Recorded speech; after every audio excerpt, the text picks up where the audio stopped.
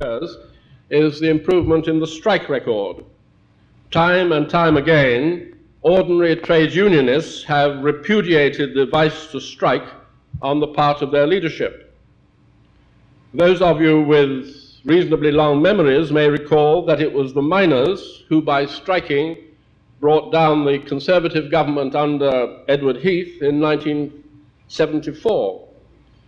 Moreover, it was the trade union leadership by creating in 1979 the Winter of Discontent, which brought down the Labour government under Jim Callaghan. But so far, Margaret Thatcher has seen off the miners twice.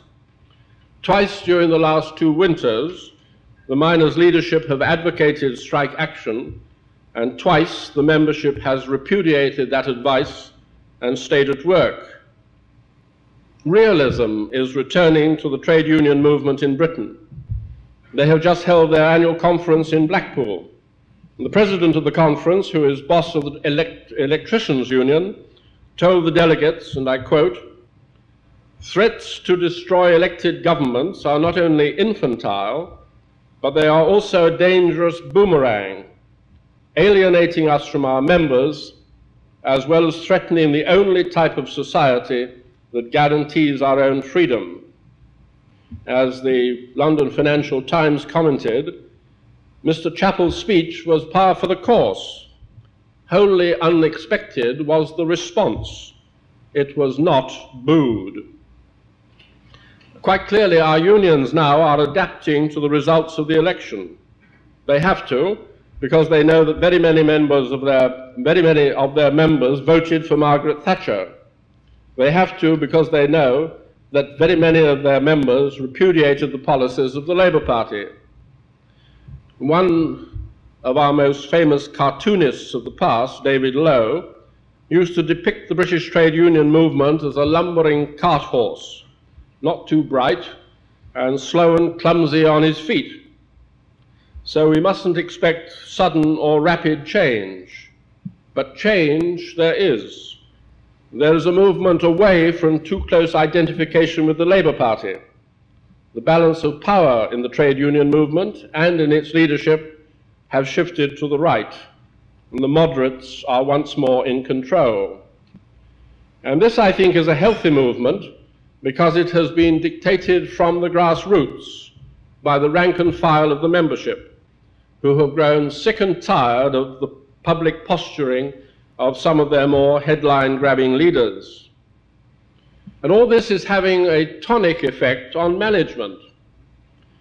In June in Washington, I opened the 29th International Food Fair. And I was talking to a British businessman who runs a food manufacturing business of his own. And one of the things he said to me was, managing a company has become enjoyable again since Margaret Thatcher came to power. In the short time that I was a free man, between retiring from Bonn at the beginning of 1981 uh, and coming to Washington in the autumn of 1982, I was on the board of a number of companies.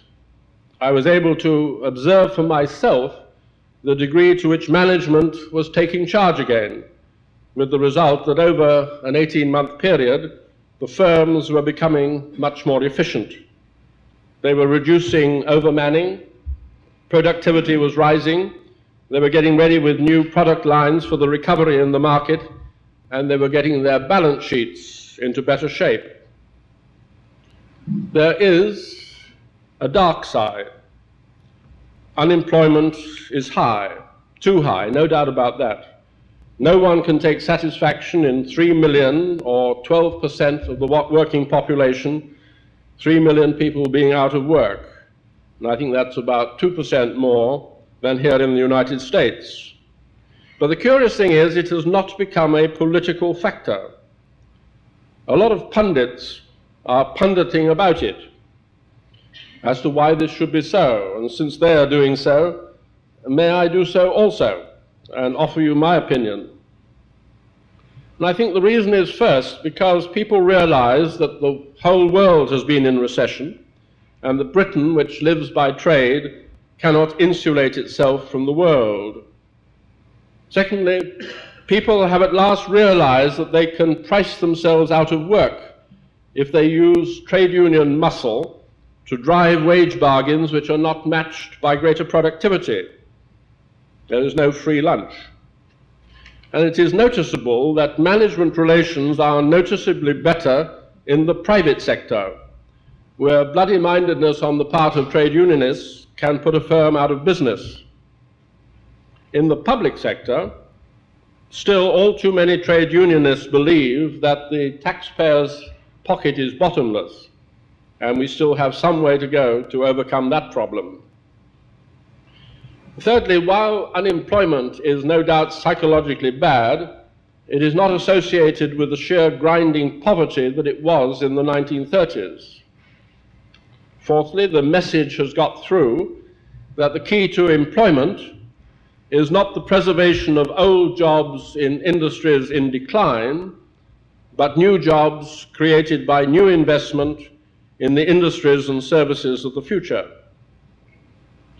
Finally, and perhaps I ought not to say this, uh, the, what is known euphemistically as the secondary economy, the black economy, the economy unknown to the tax inspectors, the secondary economy in Britain is in pretty good shape. I should know, uh, because as a house owner in Britain, I could not do without it. Some people estimate the size of the black economy at 5 to 7 percent of the gross national product. As a result of all this, there is no doubt at all in my mind that British industry will come out of this recession more efficient and more productive than it went into it. It will be leaner, certainly, for only the efficient have been able to survive this recession. But it will also be hungrier, hungrier for profits, ready to invest, and better able to create new jobs. And that is the incontrovertible order of march. Profits leading to investments, leading to jobs, not the other way round. Growth has in fact already started. We expect about 2.5 to 3% this year. As a result, the British market will, in my view, become more attractive to American exporters and indeed to American investors who see Britain not only as an attractive market in itself, but also as a springboard to the European economy. And in the other direction, British exporters will be much more competitive in the American market, and British investors will want to invest here, provided, that is, that, the, that unitary taxation does not, which is now fashionable in some states in the, in the Union, does not get too fashionable.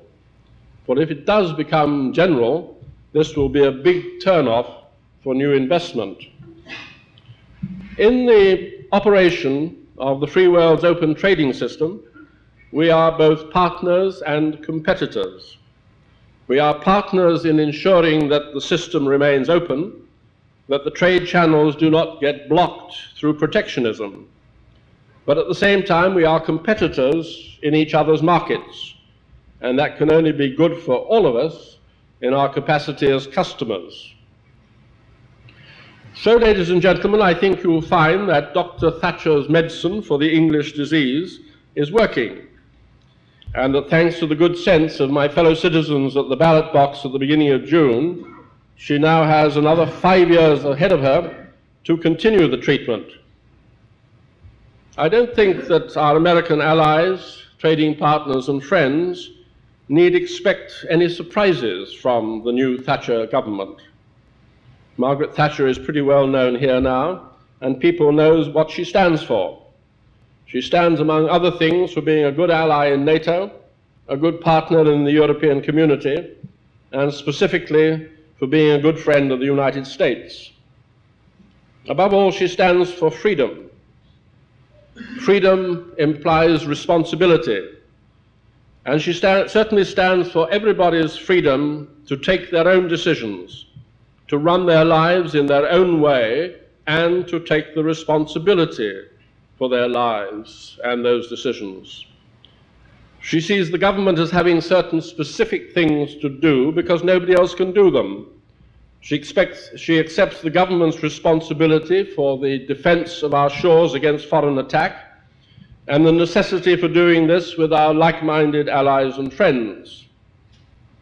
She sees the necessity for the government, since no one else can do it, to be responsible for civic tranquility at home Therefore, she will ensure that the police do not go short of funds and that law and order will prevail. She believes that the business of business is business, and that the more government gets off management's back and allows management to run its own affairs, the more prosperous the country is likely to be. She has already swept away a whole galaxy of controls price controls, dividend controls, wage and salary controls foreign exchange controls, and so on. She has already returned to private enterprise a number of nationalized companies British Aerospace, Britoil, Cable and Wireless.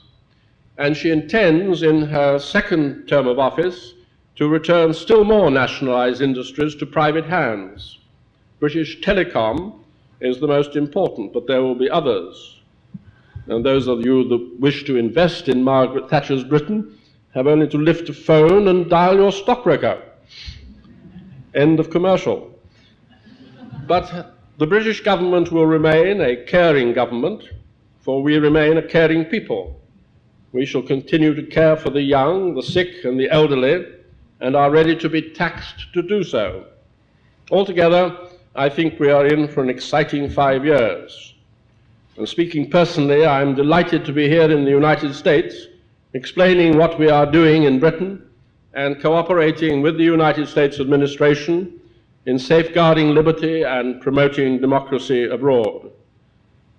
No British ambassador, ladies and gentlemen, in recent years can ever have had it so good.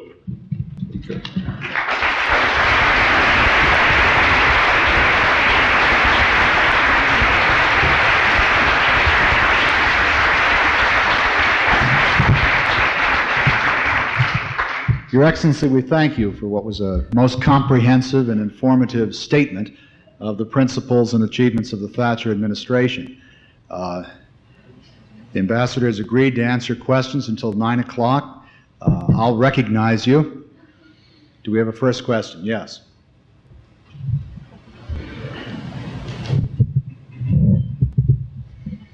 Uh, thank you for the, the very interesting speech. Um, I wonder if you could talk about the impact of immigration from the Commonwealth countries, particularly the African and, and Asian Commonwealth, on the British economy. And I'd also wonder, um, I'm interested as well, not only in the economy, but racial relations and what the United Kingdom sees as its obligation to people who obtain citizenship in the, the um, British Empire prior to problems that, that came up, you know. Um, in the days before air travel, it used to be a cardinal principle of the British Empire and Commonwealth that everybody was a citizen of every country of the Commonwealth, and that meant, of course, that anybody who wanted to, from whatever part of the Commonwealth, could enter Britain without let or hindrance. And as so often happens with splendid principles, they can be applied as long as they are not uh, exaggerated. And with the advent of air travel, we found that so many people from so many parts of the world wished to come to Britain uh, that soon the island would sink. So we had to put a embargo and greatly reduce the number of immigrants coming from Commonwealth countries. Nonetheless, in various parts of the world, there was a certain amount of human unkindness went on. Uh, I'm thinking in particular of, well, I'm thinking not least of Uganda in the times of uh, President Amin, when the population, the U Ugandan population of Indian inheritance uh, came in for a very difficult time indeed. Uh, India did not wish to take them back because India had enough problems of her own. So Britain uh, met her obligations uh, and accepted the Ugandan Asian community. Two, I might add, are very great profit. I think there's no doubt at all that over the years the British experience has been similar to the American experience in that every new wave of immigrant brings qualities with them, not least the quality of wanting to get on and make a success of their lives, uh, which means that they are a very valuable addition indeed to the community. The problem with Britain, unlike the United States, is that we have a very dense population. I mean in density, not in, in, in stupidity. Uh, we have, in a very small islands, we have 56 million. Therefore, there is a very strict limit to the absorptive capacity, both in geographical extent and also in numbers. So we have had to reduce the number of immigrants. This has, um, and I think this has had a number of effects. First, anybody who lives in Britain uh, is, in, is a British citizen and is entitled to all the benefits and responsibilities of citizenship. There is no one disadvantaged on account of their country of origin uh, or their ethnic inheritance.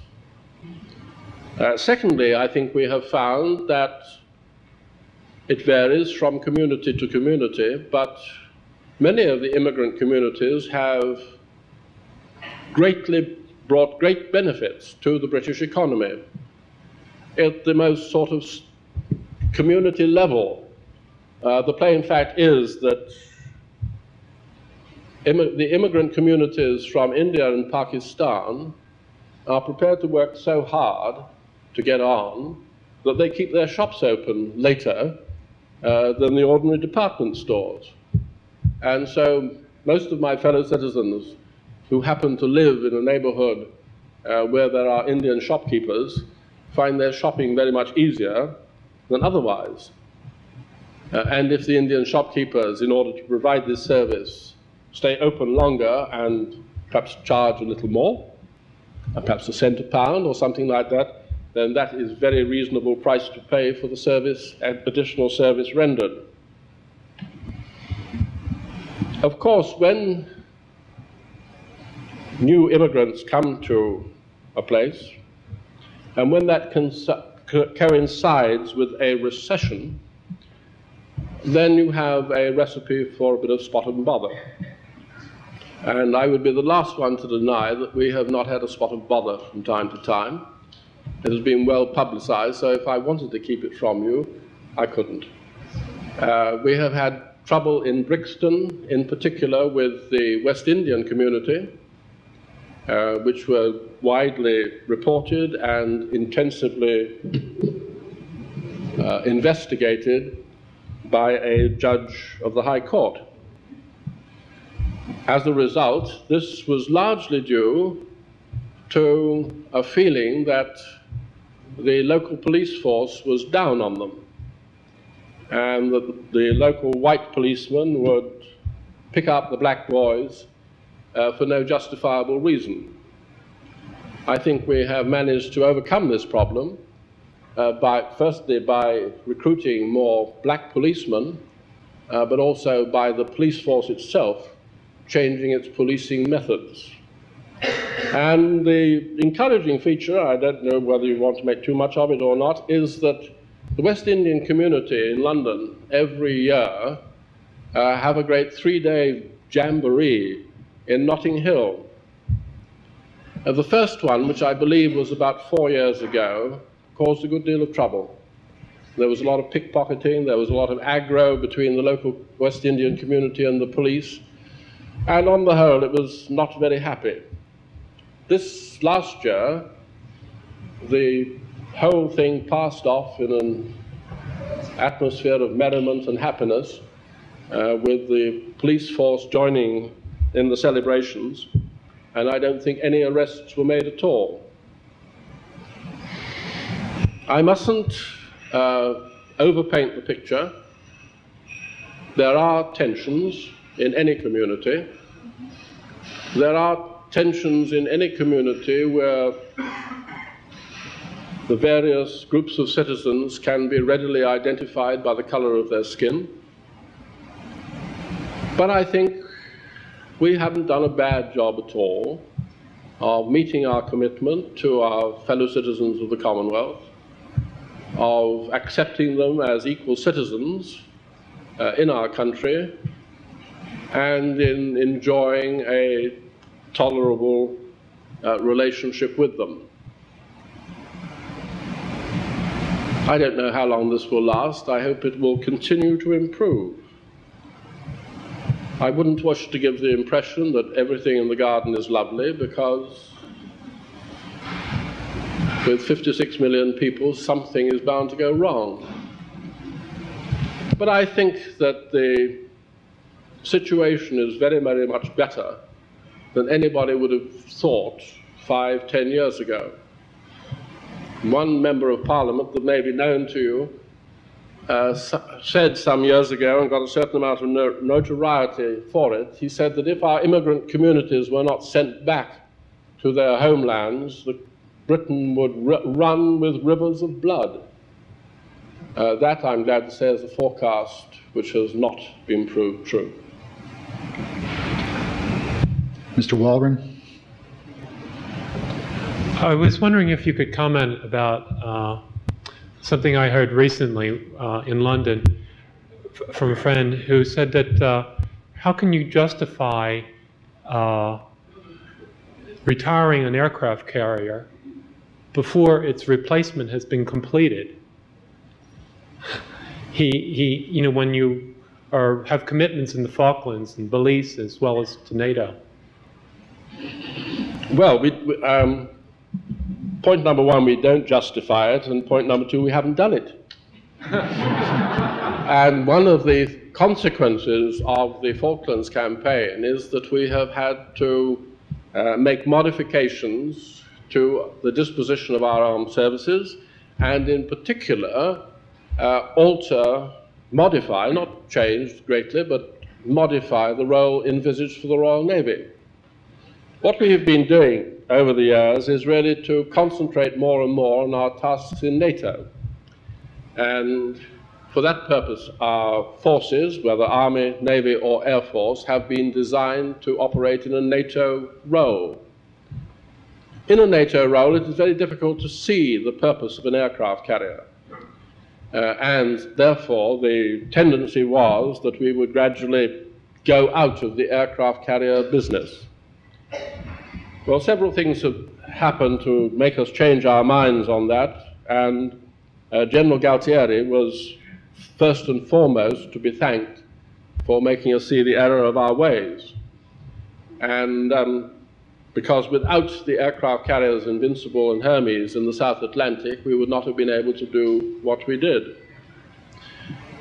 I think a second thing has happened too, and that is that it has become increasingly clear that provided we keep up our guard and modernize our armaments and keep the seamless robe of deterrence effective in Central Europe, although Central Europe is the one place in the world where weapons are stacked one on top of another, uh, it is probably the place which is less likely to be the scene of major hostilities. Uh, and therefore, uh, it, Soviet opportunism, efforts to extend their power, project their power, is more likely to take place out of area. Uh, and therefore, we have come to this conclusion too. Uh, and as a result of both these factors, we are maintaining three aircraft carriers in service for the Navy. And that, of course, means that that is Invincible Illustrious and Hermes. Uh, and um, that means, of course, that they have to have their attendant nymphs, destroyers, frigates, and so on, uh, in order to guard them from the depredations of the enemy. And indeed, at this moment in time, uh, I think something like 38 ships are warships are now being built in British shipyards, which may not sound very many ships to Americans, but for us it's quite a lot of ships. Um, so to go back to your original question, we do not justify it. Uh, we don't do it. Uh, we have seen the error of our ways. Dr. Kimberly? Uh, can you see progress towards peace in Northern Ireland?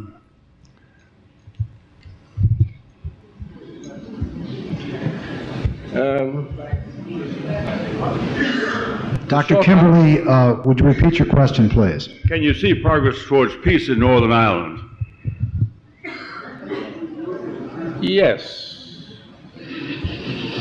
But that is a very bold statement to make. Given the troubled history of Northern Ireland, given the troubled history of Ireland, given the relationship between Britain and Ireland over the last 800 years, one would be a very bold man indeed if one was convinced that there was an early solution to a problem which has been going on for 800 years. That said, I think we are in the process at the moment of not solving the problem, but managing the problem uh, better than we have for a long, long time. And I think there are many reasons for this. One of the reasons is that the Northern Ireland Police Force has become more effective. A second reason is that many people in the Catholic community in Northern Ireland are weary of the violence, and people known as supergrasses are giving more and more information to the police so that more and more terrorists, and I must add here on both sides of the confessional divide, Protestant as well as Catholic, are being picked up, arrested, and brought to trial. A third reason is that I think that most Irishmen, and I think Irishmen in the north and Irishmen in the south, have come rightly to the conclusion that the IRA is as big a menace to the future of the Republic of Ireland as it is to Northern Ireland. And the reason for that, of course, is that the IRA is basically a Marxist organization uh, which not only wants to get the Brits out of Northern Ireland, uh, but also to transform the whole of Ireland uh, into a socialist country by violence. And so there is no doubt at all that the government in Dublin is as concerned about the IRA uh, as is the government in Northern Ireland.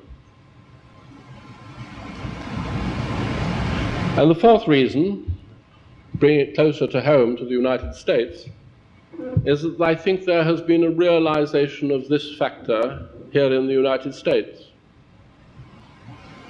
I think, although one hesitates to be too sure about anything concerned with Ireland. I think the St. Patrick's Day parade in New York this year may have marked a watershed. Because what was clear about the St. Patrick's Day parade in New York this year was that nobody in a responsible position, whether in government, in the legislature, Friends of Ireland, had anything to do with that parade at all. None of the Friends of Ireland were associated with it. And if you remember, the Cardinal Archbishop of New York refused to meet the Grand Marshal of the parade, who was Mr. Flannery, who was a self confessed gun runner, uh, on the steps of St. Patrick's Cathedral. So I think, so I would hope, I don't know, I would hope that as a result of this, fewer Americans will be ready to finance violence in Northern Ireland. So I hope that this means that I think it's too strong a word to suggest that there is progress towards peace in Northern Ireland because that would assume a contented relationship with the two communities with different identities and different loyalties. I think we are making progress towards a reduction of violence. And, and, the statistics show that, that progressively after the, over the last few years, few people, fewer people men, women, children, policemen, soldiers, ordinary citizens have been the victim of terrorist violence.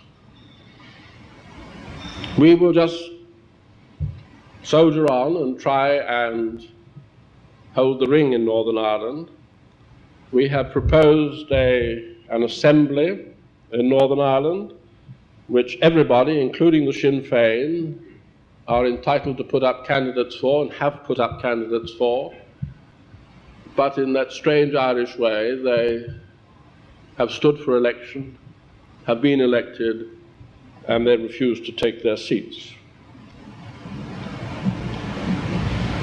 Britain cannot solve the problem of Northern Ireland. Only the people of Northern Ireland can solve the problem of Northern Ireland because only the people in Northern Ireland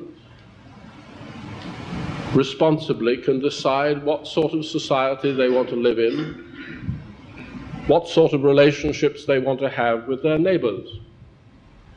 And so Britain is doing two things in Northern Ireland to help the people of Northern Ireland to do that if they wish to do so. And the one is, one thing is to provide through the police and through the army in support of the civil power conditions of relative peace and quiet in Northern Ireland so that people can go about their business in peace and quiet. And the second thing is to set up the representative institutions in Northern Ireland to provide for an assembly, to provide an electoral process, to provide that people of all political persuasions in Northern Ireland have a place to meet and take democratically take responsibility for their own future. We cannot uh, impose a solution on Northern Ireland. We have no desire to do so. Most we can do is to offer Catholics and Protestants alike in Northern Ireland the opportunity to take the responsibilities for their future. That is what we regard our task as being. Yes, sir.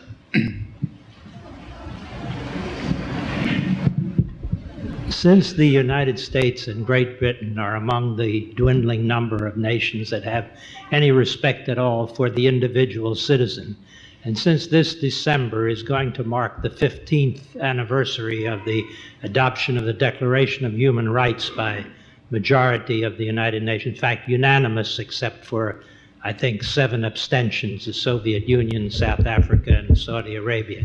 Do you think that this occasion should be used for a massive uh, effort in the United Nations to bring out the many violations of human rights that are going on all over the world and perhaps involve Amnesty International in the process? I have every conceivable sympathy with the sentiment that informed that question. On the record, I confess to a certain amount of skepticism that the United Nations as an organization can come good on its own resolutions. I think the best that we in Britain and you in the United States and in among our democratic friends and allies all over the world can do is to set the world an example, to ensure that in our own societies human rights are respected, uh, to do what we can to protect, protect those nations where human rights are not uh, respected and, on the contrary, violated. But I don't think that we can be, hold ourselves responsible for those things for which we are not responsible. I am very ready to be responsible for my own life, and I'm ready as a citizen to take co responsibility for the sort of place Britain is. But we can't force our beliefs and our values down other people because they simply will not take them. So while I would wish as fervently as you do that the rest of mankind could enjoy the human rights that democratic societies offer their citizens, I think this has to be a slow evolutionary process. And um, a vote in the United Nations, given the present composition of the United Nations, simply would not carry conviction. And on the whole, I am against political gestures that do not carry conviction.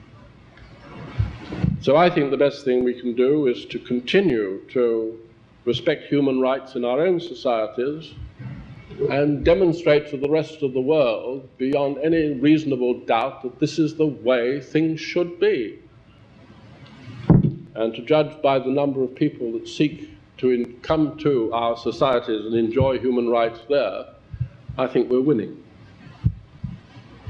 The, uh, the ambassador has had a, uh, a long day in Baltimore. He's shared his time with all of us in the city generously. Um, I hesitate to impose on him longer, but he has uh, very graciously agreed now to answer one more question. Yes, sir. Good evening, sir. Uh, I direct my question to you. It's a multifaceted question. As one, a student of international relations, and one, a United States Marine. Uh, it deals with uh, Britain's foreign policy. In the wake of uh, the Falkland Islands, the American people have viewed uh, Great Britain as being very strong militarily. Uh, Margaret Thatcher has earned the name uh, Iron Maggie. one of my questions to you is, does the Thatcher government see the world as being bipolar or multipolar? The second question is, uh, I'm awfully sorry, I didn't catch that.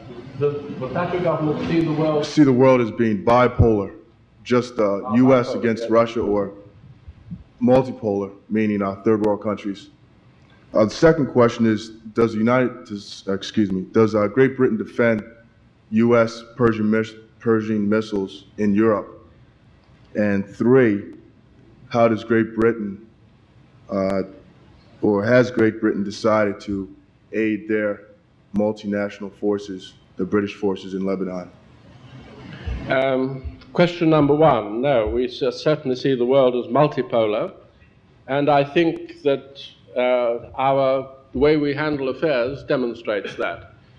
The three most important organizations to which Britain belongs are first, for our de- mutual defense, the North Atlantic Treaty Organization, uh, secondly, for our better prosperity, the European Community, but thirdly, and here I come to really the sense of your first question, the Commonwealth. And the Commonwealth is the world in miniature. It has 46 members at the moment. Uh, the Commonwealth gained its most recent member when Princess Margaret, on behalf of the Queen, attended the independence celebrations, I think last Saturday, of St. Kitts Nevis in the Caribbean. So the Commonwealth, of which Britain is a member, and to which Britain attaches enormous importance, uh, is the world in miniature. We value that relationship, uh, and we certainly uh, cherish the fact that the Commonwealth consists of all colours and creeds uh, and uh, live together uh, happily. So we'd certainly regard the world as multipolar, if you, as contrasted to bipolar. Um, now, your third question was about the MNF in the Lebanon, wasn't it? Uh, the second question was directed toward uh, does Great Britain defend the United States placing Pershing missiles in Europe. Ah, That was number. Um, now, Britain is, let's get this quite clear. Britain is a partner to the joint NATO two track decision of December 1979, whereby, in order to counteract the Soviet SS 20s, the Allies agreed on two things. One, that they would station certain intermediate weapons in certain of the stationing countries by the end of 1983, unless the uh, Soviet Union had agreed uh, to negotiate about those weapons. This is a joint Allied decision. Now, the joint Allied decision implies, as far as the stationing of missiles is concerned, the stationing of cruise missiles in Britain, the stationing of cruise missiles in Italy, and the stationing of cruise missiles and Pershing missiles, Pershing 2s, in West Germany. Britain, so that I get the right sense of the answer to your question, Britain is party to the NATO decision which agreed that in the event of no progress in disarmament talks, Cruise and Pershing would be stationed in Germany. But of course, there are no Pershings in Britain, never were intended to be, uh, and fundamentally, the decision for the stationing of Pershing IIs is a matter for the West German government. And the West German government of the day, both the Social Democratic government under Helmut Schmidt, which is now in opposition, uh, and the present West German government under Helmut Kohl, have agreed to that. We take, in a sense, joint responsibility that, for that because we uh, are parties to the whole of the uh, NATO decision. Your third question is about the MNF in the Lebanon. Yes, um, Britain has supplied a very small but symbolic contingent to the multinational force. It is very small. It is 100 men, which compares, I think, with over a thousand of both United States Marines, French, and Italian forces. The reason why our contingent is small is that because we have other out of area responsibilities, uh, like our garrison in the Falklands, like our garrison uh, in Belize, so that we simply hadn't the forces available to do that as well as meet our NATO commitments. But nonetheless, we wished, uh, we acceded to a request to have a symbolic presence there, uh, both to meet the uh, Allied objective, if you like, of supporting visibly the Lebanese government and supporting the efforts towards reconciliation in Lebanon uh, and towards a ceasefire in Lebanon, uh, and also as a gesture of solidarity uh, with our American, French, and Italian allies. So it is symbolic, uh, small but symbolic, but committed. Uh, we are as committed uh, to that um, purpose in the Middle East, in the Lebanon, to support the Lebanese government, to support a ceasefire, to support national re- reconciliation, as anybody else is, even though our support is small and symbolic. Th- does that meet your questions? Uh, the question was directed uh, more to the degree of would you back up your MNF forces there? I'm sorry, I didn't catch that. I, I think the, uh, he's adding the additional question of um, the degree to which uh, you are supporting or willing to support your forces which are in place, presuming some kind of demanded escalation. Is that Yes. correct? In the light of them uh, taking casualties. Um, well, uh, the forces are there. They have their rules of engagement. The conditions under which they're there are the same as for the other ones. Um, uh, we accept the situation as it is. Uh, That, I- if one Uh, perhaps if I could just, um, we must all go home, mustn't we? Um, everybody knows that the situation in the Lebanon is fraught with difficulty. Uh, there is a very small bit of dry land which Bud McFarlane is trying to tread as he shuttles between Damascus and Riyadh uh, and Beirut. Uh, but all round that, uh, in search of a ceasefire, in search of a political reconciliation in the Lebanon, uh, in search of getting a secure Lebanese government based on the consent uh, of the people of Lebanon and with the support of the Lebanese army. But he has a monumentally difficult task. Uh, and all surrounding this rather small area of dry land is quagmire of every sort.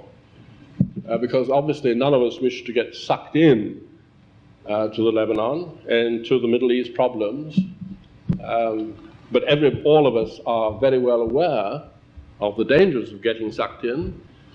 Uh, but equally, there is no conceivable Western interest in pulling out. And um, so at present time, my government agrees with the US government and with our Italian and French friends that uh, staying is bad, as someone put it in the Congress. I think, yes, staying is bad, but getting out is worse. But um, just because there's a problem, it doesn't mean to say there's a solution to it. Mr. Ambassador, uh, I must apologize to the numerous people who, who had additional questions, to my colleague, Professor Gornick especially. I, uh, the applause, I think, indicates our, our gratitude to you for your presentation and your very full and careful and respectful answers to our questions. And we all realize the value of your time. We appreciate you coming to Baltimore and being so good about making this an enjoyable and valuable evening for us. Thank you very much.